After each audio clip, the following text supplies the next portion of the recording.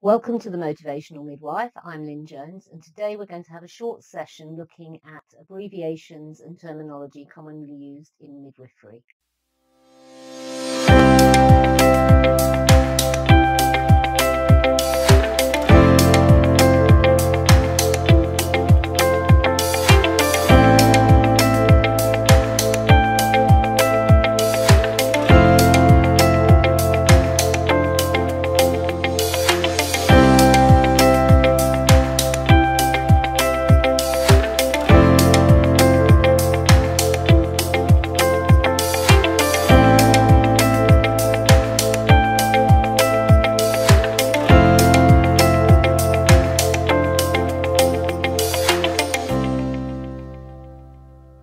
So looking at some of the abbreviations that we commonly use in midwifery. Okay, so there is actually an approved list of abbreviations and really you should be only using those abbreviations that are approved within your um, work area because different abbreviations actually can have different meanings in different environments and there's one or two examples I'll give as we go on. Obviously this list is not exhaustive um, and from an academic perspective, if you are writing um, using an abbreviation in an academic piece of work, then the first time you use it, you need to write it in full. And the ones that commonly get forgotten are things like GP, uh, NHS. So the first time you use GP, you need to write general practitioner and then GP in brackets, and then you can use GP. Likewise, NHS, National Health Service. NHS um, in brackets and then you can use it throughout the rest of your work.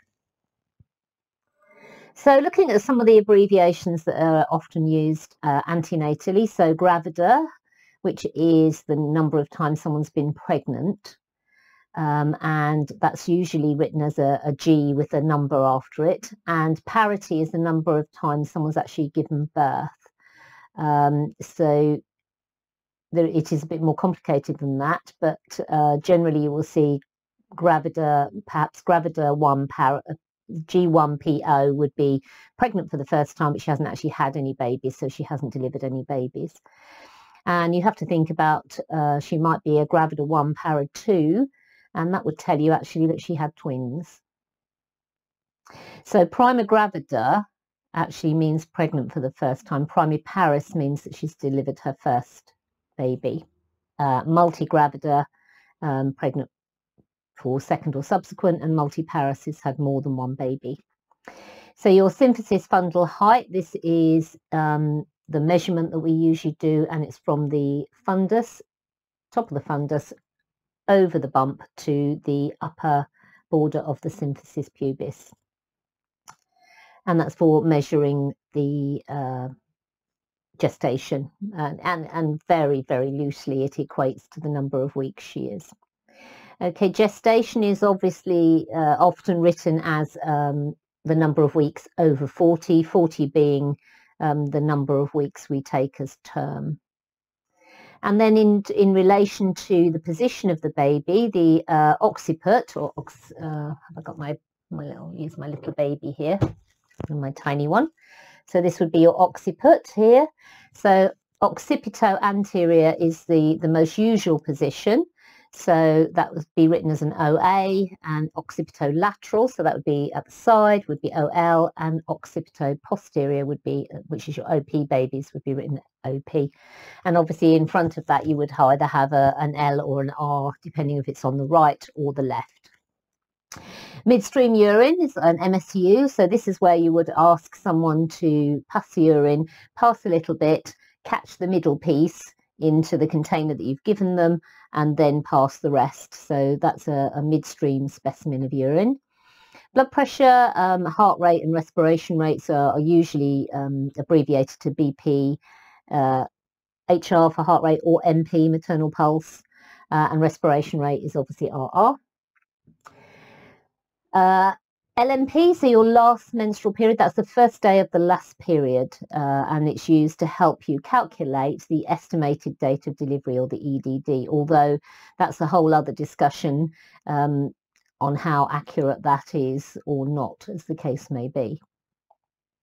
Uh, antenatal is often abbreviated to AN, intrapartum IP and postnatal PN.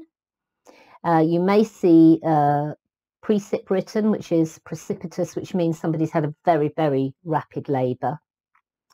Um, spontaneous rupture of membrane, so this is where their waters have gone, uh, they've broken uh, spontaneously, no interference from us, and that's often written as SROM. And prolonged rupture of membranes, this is uh, currently deemed to be longer than 18 or 24 hours, depending whether there are risk factors for group B strep as well and that's usually written as prom. And pervaginum, PV. Uh, children's social care. Now, this is is um, something that it, you probably hear more as child protection, but it's it's much it's a much bigger umbrella than just child protection. So it comes children um, in need come under this as well as as actual child protection. So you may see that written as CSC, so Children's Social Care. Body Mass Index, obviously we calculate that in the um, antenatal period and um, at other points throughout pregnancy to help us risk assess.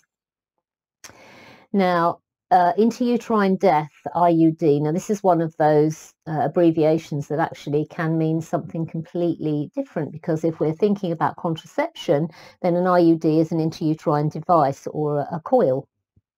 So this is where you do need to be mindful of the context in which you're using um, abbreviations. Stillbirths are often written as SB, and you may see that um, along with uh, the gravida and parity, you may see uh, G1, P1, but in brackets it may say S, SB or um, neonatal death, NND, which I don't think I've got on here, so you may see that. Um, past medical history is sometimes written, you see doctors using this quite a lot as uh, just PH, and treatment is often um, abbreviated to TX as well. And the, these ones you will often see in doctors' handheld or handwritten notes. Um, it, not specifically intrapartum, but often you'll use these ones much more in labour. So PU for past urine, for also the baby PUs and bowels open BO artificial rupture of membrane. So this is where we have broken the woman's waters uh, as part, usually as part of an induction process, um, but maybe part of, uh, of labour depending on what else is going on. Uh, v is vaginal examination. Um, cardiotocograph, the C CTG, this is the monitoring equipment that we uh, you will often see within the hospital to uh, monitor the baby's heart rate and also monitor the contractions. So it's um, a piece of equipment that has two transducers. So one has a like a pressure pad on which will pick up the changes in pressure um, when she has a contraction and the other one will pick up the baby's heart rate. And then that's translated into a what used to be a paper readout. Now it's in a lot of cases it's an electronic trace readout that you can see. Uh, spontaneous or normal vaginal delivery. So you will see both written depending uh, which part of the country you're in. So some some midwives write SVD, some midwives write NVD. Uh, forceps delivery is sometimes written as FD, but it's, it's more often than not they're Neville Barnes forceps. So you will often see it written as an NBVFD as well. And Ventouse. Now, Ventouse used to be a, a big old piece of equipment, which was like a big plastic um, and metal in some instances cup that went on the baby's head and then uh, was attached to a machine that you had to turn the pressure up um, to get suction. Uh, more often than not, you don't see those very much at all anymore. Um, but more often than not now we use Kiwi cups, which are a small handheld plastic device that do the same the same job. So often when it is a Ventouse, it's a Kiwi delivery that we're looking at, not Ventouse in the old um, sense. Uh, Caesarean sections, sometimes you'll see them written as CS, but uh, it is actually a lower segment Caesarean section, so that's what LSCS stands for. Uh, gestational diabetes mellitus, so GDM, this means that they have developed diabetes as a, a, result of being pregnant, and more often than not, once the pregnancy ends, then the um, symptoms of that will resolve. But there is some evidence to suggest that these women will go on to develop diabetes in later life. Preeclampsia is often abbreviated to PET, and your insulin dependent diabetics, so these are your generally your type 1 diabetics, um, is IDD. You will see that written. And uh, in terms of auscultating the fetal heart, um, you will often see it written as FHHR, which is fetal heart heard and regular. So you, you've not heard any ectopic beats, you've not heard any um, decelerations or that you're concerned about. And sometimes it is just written as FH as well. Cervix will be abbreviated often to CX.